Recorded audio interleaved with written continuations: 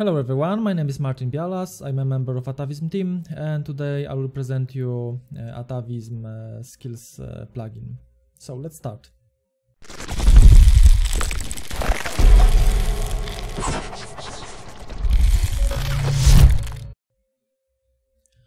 In order to open uh, Atavism skills uh, configuration tab, we should head into uh, Windows section and we have to click into Atavism Online option.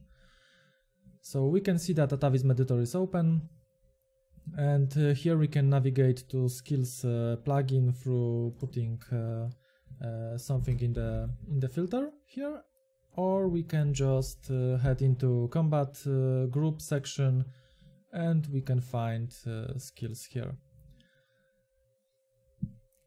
So basically on Atavism uh, we got uh, mm, two types of configuration for skills. Uh, first type is um, mm, because we, we can attach to the skill, we can attach abilities uh, and it's a basic configuration in Atavism. Um, and uh, first type of the skill is when First type of configuration of skill is when the player is using these attached abilities, uh, then there is a chance that skill will be increased. And uh, to which point we can define it here. So we can define the max value for that. And uh, the more chance is at the beginning and the less chance is at the end of that uh, range so it's the range between 0 and 100 or something else which we will we can we can put here uh, it's basically uh, made by linear so uh, then we get uh, second option. So we can uh, we can define uh, to not level the skill while using abilities connected to it. But instead if the player will, get the level the, the character of, of the player will get the level of the character then uh, it can be granted some uh, skill points and uh, then that skill points can be spent uh, for any skill. And of course, uh, to prevent uh, player from putting all the skill points into the most powerful and the, uh, the best uh, skill uh, in the tree, because we can define the tree of the skill, then we can define uh, requirements. So requirement for skills and here we can define parent skill. So uh, yeah. First the player will have to um, put uh, and met all the requirements in the skill tree uh, before he will put uh, points into the more more and more powerful skills uh, in that tree uh, in order to configure or set up these two types of configuration, we, we should head into uh, server group and in the server group we got game settings. We can of course same just put game settings here. Uh, and here in the edit tab we can find like skill. Uh, I covered the uh, game settings uh, plugin in the sep in separate tutorial so you can watch it as well. But for for this for this tutorial I will just show few configuration elements for that part. So we can set up that skill up rate which I mentioned before. It's the first option when player is using abilities and through that abilities uh, it is increasing the skill level. So we got skill up rate uh, like 1, it's 100% to increase the skill. And uh, the higher level of the skill, the harder it will be to get that uh, skill point. And of course we can set it to 0 if we want to uh, not level the skill by using abilities connected to it, but we can instead use skill point given per level. This is also global parameter and uh, here we can define how many points the player will get uh, each time he will get the level. So in this case we got uh, uh, set this value uh, to 3, it's the its default value.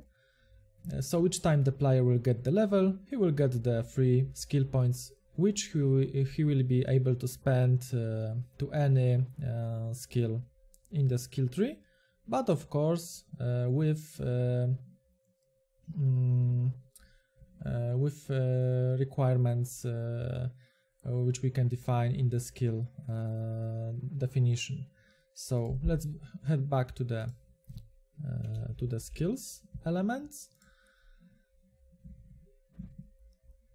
So uh, we got max level as I mentioned, then we got skill point cost because some skills the most powerful can cost more skill points, for example. Uh, automatically learn, it will automatically learn the skill when the uh, requirements for that skill are met because skill can be related to any other skills as well. Uh, then we got of course icon name and here we have some more configuration like skill class. We can define the skill or limit the skill to be used only for um, specific class. So we got few classes here, uh, so we can limit it only for this class, so no other classes will be able to uh, to learn it. Then we got opposite class. It's basically uh, mm, the opposite class means that the skill um, um, will be harder to level for that opposite class. So we can uh, imagine that we have some uh, magic uh, magic skill and it's uh, designed for mage or sorceress while uh, for warrior it will be harder to, to get that skills. So we can define it here. And then we have four stats uh, definition here. So we got primary stat, secondary stat, third stat and fourth stat. So what does it mean? It basically uh, allows us to define any attribute for character, any statistic for character, and uh, while the skill will be increased, we can define how these attributes will be increased as well. So uh, we can, for example, say that uh, this will be magic skill, like magic staff, magic staff uh, skill. And we can define that it will be for mage. We can uh, define opposite class like uh, warrior, for example. Uh, then we can define this primary stat as like intelligence, uh, potential, which is in uh, atavism default uh, magic power attribute. Then we got magical critic. Then we got, for example, magical resistance. So it's basically all for all attributes, uh, very important attributes for mage. And uh, these attributes will be increased each time or we can define how often uh, it will be increased when uh, the skill will be increased as well. So uh, we can define it, define it in server, again, game settings plugin. And here we have we have a skill primary stat gain increment increment. So yeah we get we got uh, for this uh, uh, these stats. And here we can say, we can define the value. So first stat will be increased uh, each each time the skill level will be increased uh, by two point by two points. So for each two points um, uh, of the skill we will get one primary stat uh, one one primary stat point and the same we can define for secondary, for third, and so on. So we can define it and it's pretty uh, customizable. Let's get back to the uh, to the skills. So then we got requirements. Uh, we got here a few elements as well. So we can um, we can define player level requirement for that skill. Uh, we can define parent skill, which will allows us to uh, basically build the skill tree for that uh, for that part.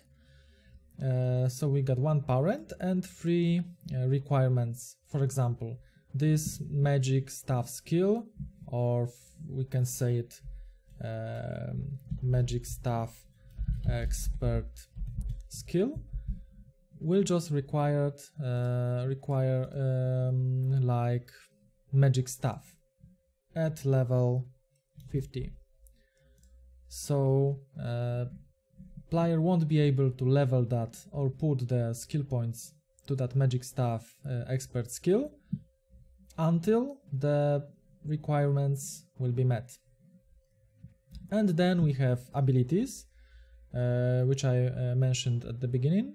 So we can define multiple abilities here. So we got uh, expert, let's say magic bolt. It will require like 25 skill skill level. Let's add more. let's say magic bolt like 40 and we can define here if the ability should be automatically learned or not. So if that skill, uh, magic staff expert skill, will reach the skill level 25, should that ability, sleeping bolt for example, should be automatically learned or not. So we can define it pretty uh, uh, pretty much all elements uh, I think we want. Uh, so we got two types, two types of skill configuration in atavism and we can attach to uh, attach to skills we can attach abilities uh, we can attach multiple abilities and uh, in order to use that skill uh, for our player, we should head into the character group section and choose player character setup. And then at the bottom of the of the page, we got few, or I should say, many attributes of uh, for configuration of, of uh, for our character, and um,